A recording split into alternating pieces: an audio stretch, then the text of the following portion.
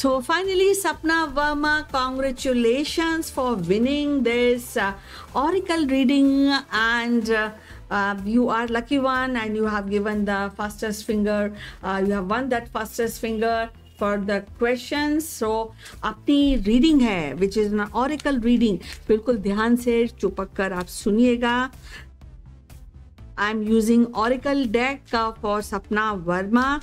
Just uh, hold on, Sapna. Please listen your Oracle reading.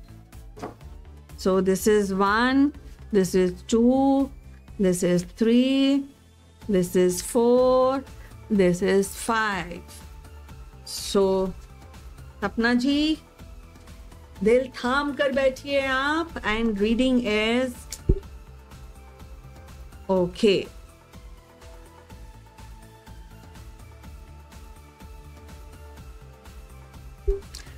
पहली बात है सपना जी जब भी हम कोई चीज़ शुरू करते हैं Sapna ji then it is really really very essential कि जो आपके एंजल्स हैं सपना जी आ, वो आप उन पर उन पर अपना विश्वास रखिए। डैट मीन सपना जी ये ज़रूरी है आपके लिए कि थोड़ा आप प्रेयर्स पर अपना ध्यान दीजिए। थोड़ी आप जनरोसिटी थोड़ा चैरिटी ये आप करेंगी तो इसके साथ क्या होगा कि आपके अंदर एक स्ट्रांगनेस अगर देखें तो डिविनेशन आपके लिए एक आ, जो ऑरिकल है वो आपके लिए ज़रूरी है। सो आप, थोड़ा सा टाइम निकालिए थोड़ा सा मेडिटेशन कीजिए थोड़ा सा ईश्वर को याद कीजिए एंड uh, उसके बाद थोड़ा सा चैरिटी कीजिए। ये आपके लिए बहुत ज़रूरी है फॉर सम टाइम एटलीस्ट और आपको ये भी समझना चाहिए कि uh, जब हैप्पीनेस ईश्वर आपसे खुश है ईश्वर यूनिवर्स आपकी हेल्प करना चाहते हैं। लेकिन क्या है कि आप कहीं ना कहीं ऐसी चीज़ कर लेती हैं जो आ, जो आपको आपके खुद को दुख दे देती है। तो ये टाइम है कि आपको ईश्वर को याद करके पॉजिटिविटी अपने अंदर लानी है। क्योंकि जो लाइफ एनर्जीज हैं आपकी वो कभी कभी नेगेटिव हो जाती हैं और इसलिए वो जो खुशियाँ हैं वो उस शेडो में छुप जाती हैं आपके लिए। तो ये आपके लिए बहुत ज़रूरी है कि चीज़ों को दो तरीके से सोच आपकी ज़रूरी है। ये लाइफ एक एक रास्ता है। इस लाइफ के अंदर पॉजिटिव एंड नेगेटिव दोनों चीज़ें होती हैं सपना जी। लेकिन हमको हमेशा पॉजिटिविटी का दामन लेना चाहिए। और अगर हम ज़्यादा नेगेटिव रहते हैं तो क्या होता है, जो अच्छी चीज़ भी आने वाली होती है, वो हमारे पास नहीं होती, क्योंकि वो शेडो से ढक जाती है। तो इसके लिए तो टाइम आपके लिए दो चीज़ें बहुत, अपने आप को हील कीजिए। कुछ भी गलत हुआ है, कुछ भी अनसक्सेसफुल हुआ है तो वो आपको दिमाग में वो चीज़ रखनी ही नहीं है, क्योंकि every minute is a new minute every hour is a new hour for you तो उसका आप भरपूर इस्तेमाल कीजिए। दूसरी बात यह है कि जो आप चाहती हैं, उसके लिए बहुत ज़रूरी है कि आप ढंग से, ये मतलब प्रैक्टिकलिटी से चीज़ों को चाहिए। ऐसे नहीं बैठ के हम देख रहे हैं कि हमें तो बहुत कुछ चाहिए, लेकिन हमारे रिसोर्सेज उतने नहीं हैं, या हम उन गोल्स पे पहुँच नहीं पा रहे हैं, हमको बार बार डिले हो रहा है। क्योंकि हमारी जो एक्सपेक्टेशन है, हमने बहुत ज़्यादा हाई करके रखी है। तो ये आपको ऑरिकल बोल रहा है विश वाइजली जो चाहती हैं, उसमें वाइज होना आपके लिए ज़रूरी ज़रूरी है। प्रैक्टिकल स्टेप्स उठाने आपके लिए ज़रूरी हैं।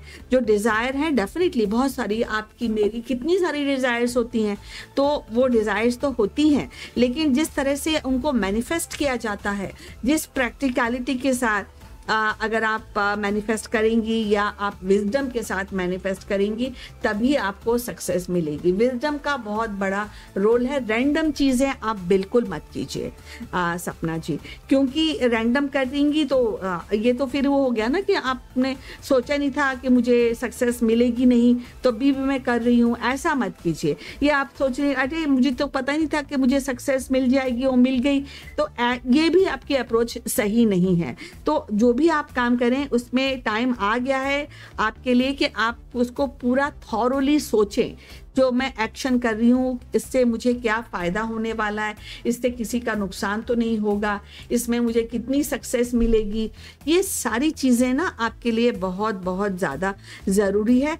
और साथ में विजडम के साथ और जो भी विश कर रही हैं, उसमें वाइजली वाइज होने का बहुत डेफिनेटली बहुत ज़रूरी है आपके लिए चीज़ों को करना। और चैलेंज जब आते हैं ना तो उनको भी हैंडल करना होता है। चैलेंज से कभी भी भागना नहीं होता सपना जी। तो विजडम ईश्वर की प्रार्थना एंड टाइम आ गया है कि चीज़ों को पॉजिटिव पॉजिटिविटी की तरफ़ लें। Rather than rather than random random कोई चीज़ मत कीजिए प्लानिंग के साथ कीजिए थॉटफुली इवेलुएट कीजिए बिफोर टेकिंग एनी एक्शन तब जाके आपको सक्सेस मिलेगी और उसी सक्सेस को आप बहुत दिनों तक, बहुत लाइफ इवन लाइफ लॉन्ग आप उसको सेलिब्रेट कर सकते हैं।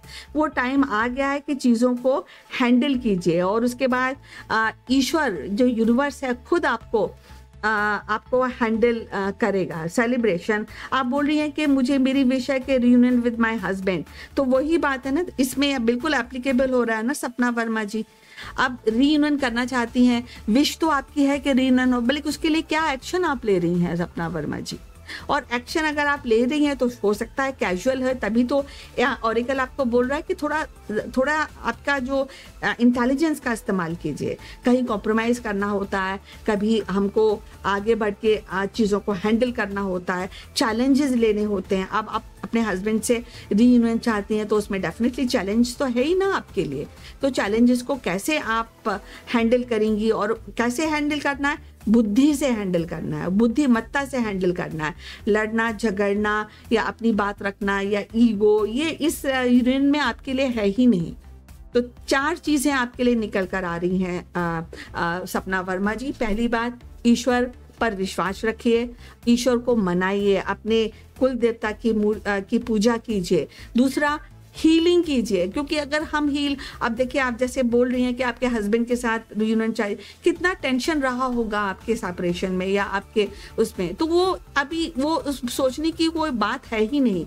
सपना जी हील कीजिए विजडम आ, से इस्तेमाल कीजिए चीज़ों का और जो भी विश कर रही हैं आप रियूनियन चाहती हैं ये आपकी विश है तो उसको थॉटफुली सोचकर उस पर एक्शन लीजिए, सपना वर्मा जी। और जब आप लेंगे कि तभी ये चार चीज़ें अगर आप करेंगी wisdom wish wisefully and heal yourself and ईश्वर की पूजा, तभी सेलिब्रेशन का माहौल आपके लिए बनेगा। अदरवाइज़ ये चैलेंजेस आपके आते रहेंगे।